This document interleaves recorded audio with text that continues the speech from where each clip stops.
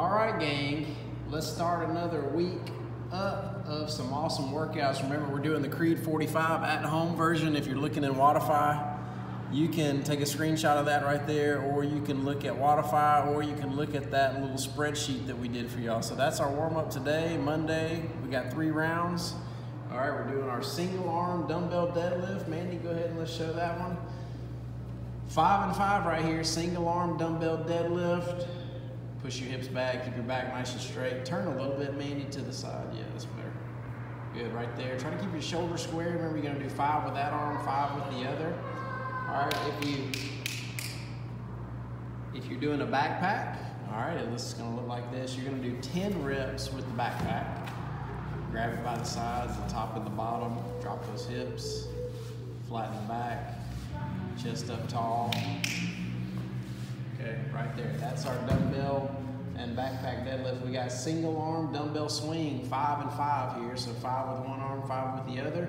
Hips back, pop the hips forward, and the dumbbell finishes at eye level. All right, go five and five right there. We can also go backpack swing. Grab it by the very top of the straps where it connects to the backpack. Get it going a little bit. Pop the hips and eye level. All right, using a lot of hips and uh, glutes and hamstrings right there. Then we've got single arm dumbbell thruster. All right.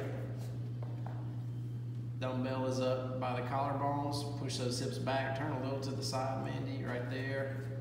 You're gonna go five with one arm, five with the other. Head to the hole at the top. Nice and deep on those squats, guys. Also, we can go backpack thruster. All right, both hands right here, not single arm on this one. All the way up to the chest, right up under the chin. Good squat. Explode up, head to the hole at the top. All right, and we've got a 100 meter run to finish up our warm up. Remember, we're doing three rounds of this warm up. We got a 100 meter run, or you can do about 30 seconds of work. You can go high knees. All right, you can go mountain climbers. Right there, you can go jumping jacks.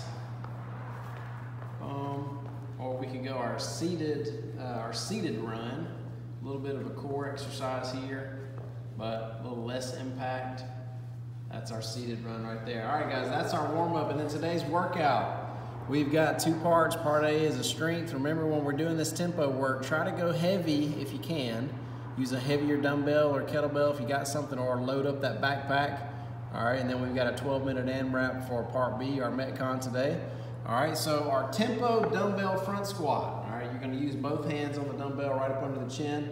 Our tempo today is gonna be one second on the way down, two seconds in the hole, and then explode up, right? So here we go, and 1001, 1001, 1002, explode, boom. 1001 on the way down, 1001, 1002, explode. That's our tempo front squat. All right, we're gonna do 10 reps there, and then you're gonna rest a minute and a half in between each set. We got five rounds of that for our strength today. Part B, we got a 12 minute AMRAP. We're going more dumbbell front squats, but just this time we're going uh, no tempo, all right? So just you're gonna crank out these front squats, and same deal here. If you don't have a dumbbell or a kettlebell, you can go backpack on that one, just like for the strength. All right, we didn't show that during the strength, but same deal. You can use that backpack as your weight. Okay, we can go dumbbell swings, which we showed you in the, uh, well, let's, we'll show the double arm version. So we got double arm dumbbell swings here, both hands on the kettlebell, pop the hips forward. And then again, we showed that backpack swing in the warm up, okay? So you can use that backpack if you need to. And then we've got 30 bicycle crunches in this workout, hard count, all right? So we're counting every other side. Bicycle crunch, that leg goes straight, it stays off the ground, and she's twisting that opposite elbow to the opposite knee. So if we're counting, it's one, two, three, right there, okay?